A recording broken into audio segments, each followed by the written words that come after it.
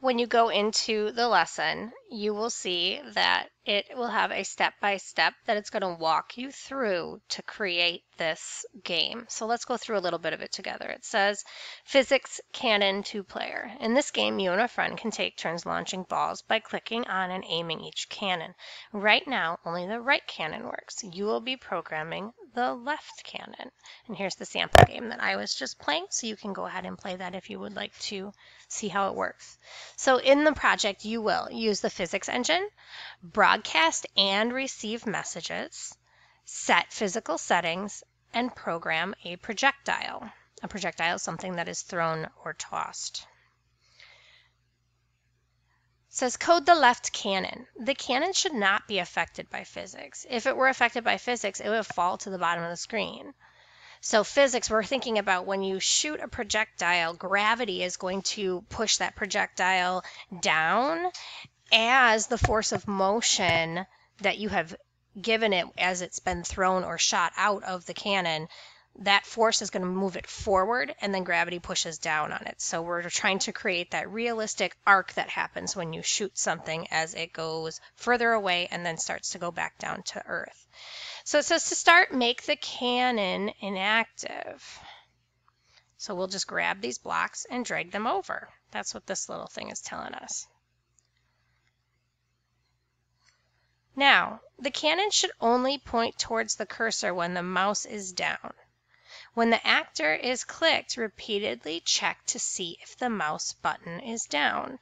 So when actor is clicked, we want to see if the mouse is down.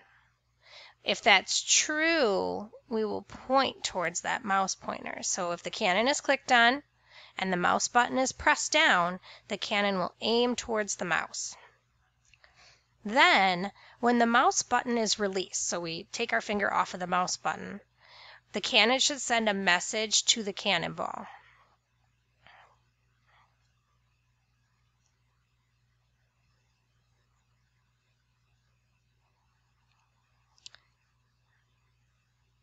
Next, we're going to fire the cannonball.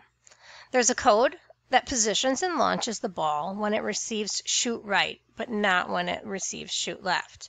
Use these blocks to finish launching the code. So I want you to try to think about putting this together instead of me finishing all of this for you.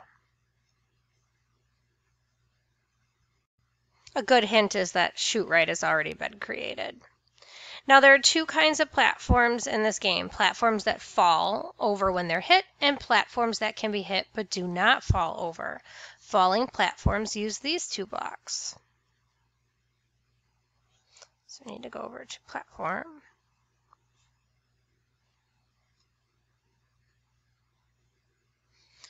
We want to allow the actor to be hit.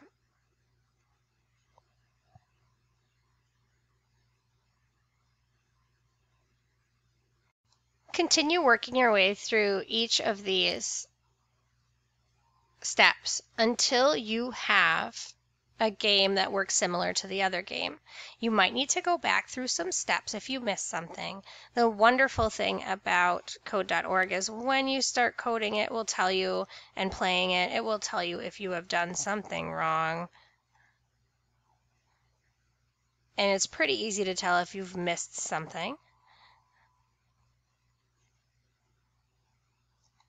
So I've got my cannon shooting so far.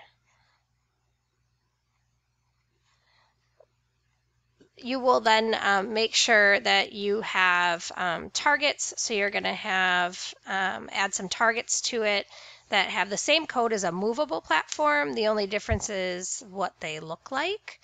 And then duplicate some active platforms and change their costume to create targets. So some of our active platforms are, let's see, ones that can fall over right now. So if I were to shoot this, oops, I didn't mean to do that.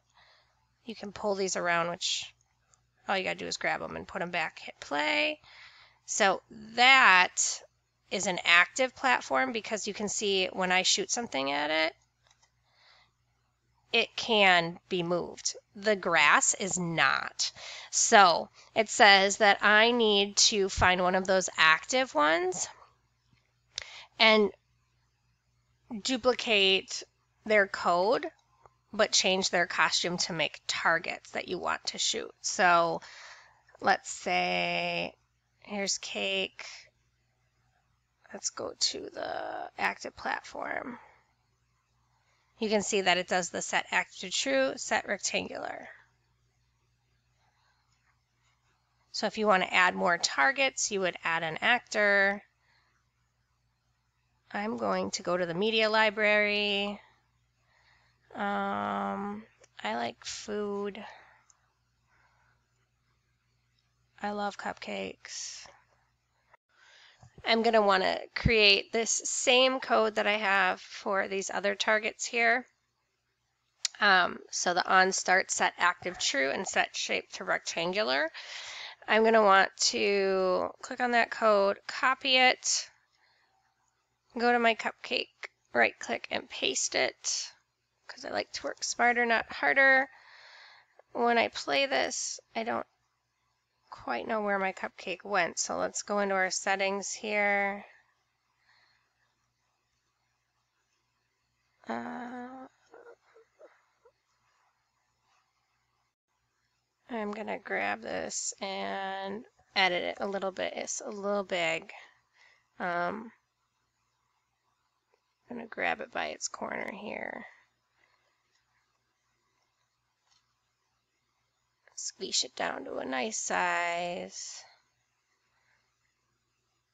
Gonna put this cupcake right here. I could add more platforms and more things, more targets for them to hit, and that's what it's asking you to do. So I could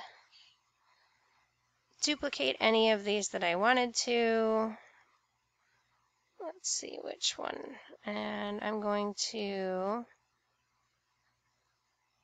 duplicate and I'll grab that new guy and move him around. And you'll see when you duplicate it, the code that you had with it follows it, which is really nice. So you're just going to keep working on this until you get a really fun game moving. Um, each of you is going to take different amount of time to complete this tutorial it's really up to you how long it takes you. Um, it probably should only take you about a half an hour. It's not too hard, but it could take you a little bit more if you get a little bit more into it. Um, I would ask that if you are done with it and you want to learn more or you want to do something um, above and beyond or you just really like coding, that you theme your game so you could go in and make it like a kitchen shooter, like this one right here, or whatever, whatever your theme is. Maybe you go and look in the fantasy thing. If you go into, again, the